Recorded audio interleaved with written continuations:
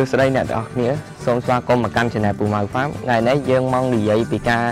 ឲ្យចំណីជ្រូកដោយប្រើដើមចេកនៅក្នុងកសិដ្ឋានរបស់យើងនេះអញ្ចឹងសូមអ្នកទាំងអស់គ្នាទស្សនាវីដេអូមួយនេះដូចតទៅបងប្អូនមិនឆ្ងល់ទេហេតុអីបានដើមចេកមួយនេះវាមានកម្ពស់ខ្ពស់ធំហើយផ្លែវានេះក៏វាធំល្អដែរគឺដោយសារតែខ្ញុំប្រើជីធម្មជាតិនៅក្នុងកសិដ្ឋានរបស់ខ្ញុំនេះគឺជីអាចទៀតនៅពេលដែលខ្ញុំបាញ់ទឹក លាងអាចទៀនហ្នឹងគឺវាហូរមកច្រោះវាហូរច្រោះមកដាក់ដើមចេកនេះអញ្ចឹងបានដើមចេកនេះវាធំលូតលាស់បានល្អផ្លែនេះក៏វាធំល្អដែររីឯអត្ថប្រយោជន៍វាហ្នឹងក៏មិនធម្មតាដែរដើមចេកហ្នឹងគឺវាមានអត្ថប្រយោជន៍ច្រើនណាស់សម្រាប់មនុស្សនិងសត្វដើមវានេះគឺយើងយកទៅកិនលាយមួយបន្លែផ្សេងផ្សេងលាយមួយកន្ទក់សម្រាប់ឲ្យសត្វមាន់សត្វទាឬក៏ជ្រូកស៊ី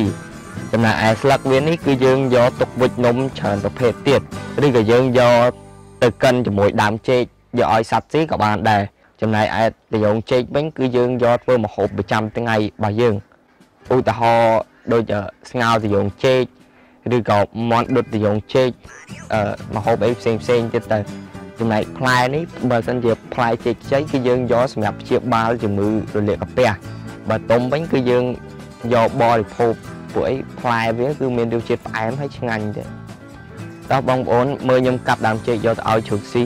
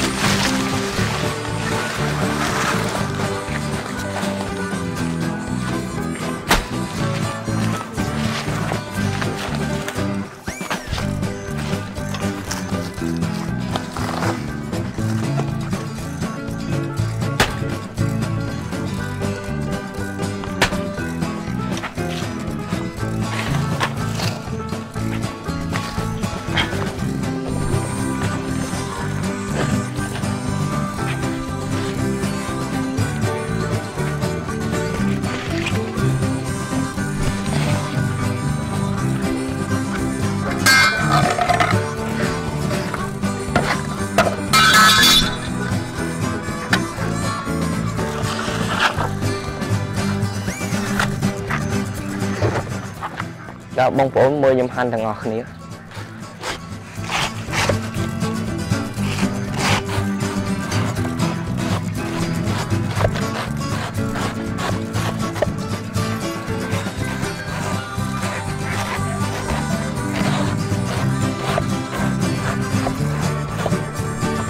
េះបងប្អូនយើងបានហាន់ហើយច្រាមវាហើយឥឡូវយើងយកវាទៅលាយជាមួយតកៅហើយកតុថែមទៀត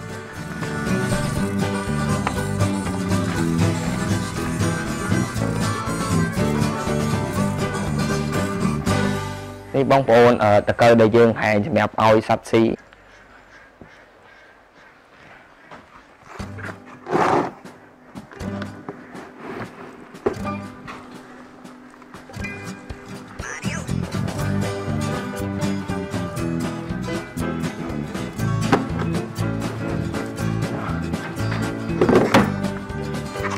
នេះតកៅលាយជាមួយដើមឆេកដែលយើងកិនហើយនេះ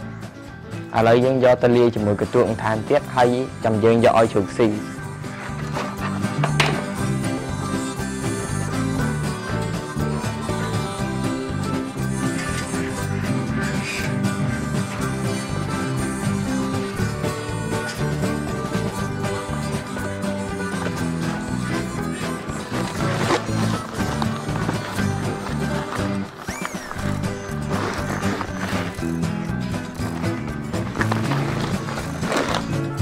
ហើយយើងត្រូវច្របល់វាឲ្យសព្វ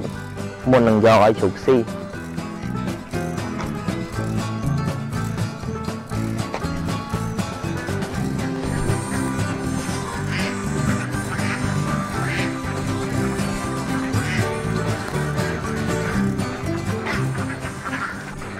បាទបងប្អូនឥឡូវខ្ញុំចាប់ដើមយកចំណីឲ្យជ្រូកស៊ី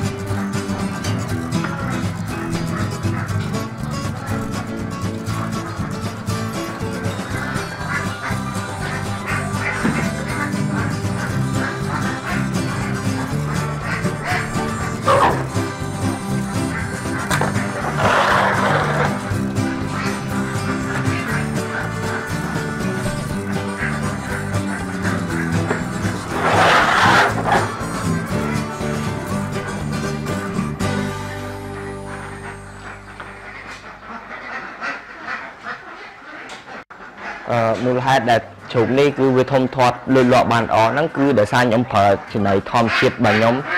ដូចដើមចេកនេះខ្ញុំដាំតែខ្លួនឯងទេដូចតកៅហ្នឹងគឺក៏ខ្ញុំចិញ្ចឹមផលិតវាមកខ្លួនឯងដែរដូចអាធំនេះចឹងខ្ញុំទៅយកមកបានមិនពីអាទិត្យទេការយកមកហ្នឹងគឺទូចទូចប៉ិនប៉ិនតទូចទូចនេះដែរទេវាធំជាងនឹងបន្តិចទៅឥឡូវឃើញពីអាទិត្យមកឃើញប្លែកហ្មងលើកឡើងធំធំអស់ អាទូចទូចនេះក៏មើលទៅឃើញប្លែកដែរការខ្ញុំយកមកភ្លាមនេះក៏វារឿងទូចជាងហ្នឹងដែរដល់ពេលឥឡូវខ្ញុំឲ្យចំណីធម្មជាតិដែលខ្ញុំផលិតហ្នឹងទៅចាប់ដើមធំមើលទៅមានសាច់មានឈាមឡើងធ្លោះធ្លោះហ្នឹងនេះអឺសម្រាប់ចំណីជ្រូកវិញគឺខ្ញុំឲ្យវាស៊ីមួយថ្ងៃពីរដងឲ្យផឹកខ្ទង់ម៉ោង8ពេលយើងងើបឡើងហ្នឹងហើយនឹងពេលល្ងាចខ្ទង់ម៉ោង4 ពេលពេលមេចិត្តលិចអស់ហើយសម្រាប់ពេលថ្ងៃវិញគឺខ្ញុំគ្រាន់តែកាត់បន្លែជុំវិញចាក់ស្ថានហ្នឹងហើយយកលាយជាមួយតកៅកតួហ្នឹងយកឲ្យវាស៊ីនេះដូចឥឡូវនេះចឹងគឺខ្ញុំកាត់បន្លែហើយយកឲ្យវាស៊ីចឹងរបស់ខ្ញុំគឺសម្អាតមួយថ្ងៃម្ដងអងបាទគឺបាញ់ទឹកខ្ញុំធ្វើត្រង់នេះគឺធ្វើសម្រាប់ប្រព័ន្ធប្រហូរទឹកអីចឹងដល់ពេលខ្ញុំបាញ់ទឹកទៅគឺ ទឹកវាហូរតាមប្រព័ន្ធប្រហូរទឹកហ្នឹងវាស្រួលវាអត់មានផ្លូវស្ទះឬក៏អីទេហើយមួយអាទិត្យខ្ញុំបាញ់ថ្នាំសម្លាប់មេរោគម្ដងខ្ញុំបលែងទាចេញខ្ញុំបលែងជ្រូកចេញទៅក្រៅទៅហើយខ្ញុំបាញ់ចុំវិញហ្នឹងមួយសាមួយអាទិត្យបាញ់ដងជិះវៀងជំងឺបោះជ្រូកផ្សេងៗកើតឡើង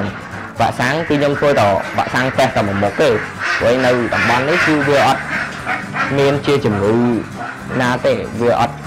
ធ្លាប់កើតជំងឺអីផ្សេងទេអញ្ចឹងខ្ញុំធ្វើតែប៉ះតែមួយមុខទេកុំឲ្យស្មុគស្មាញញ៉ៃច្រើន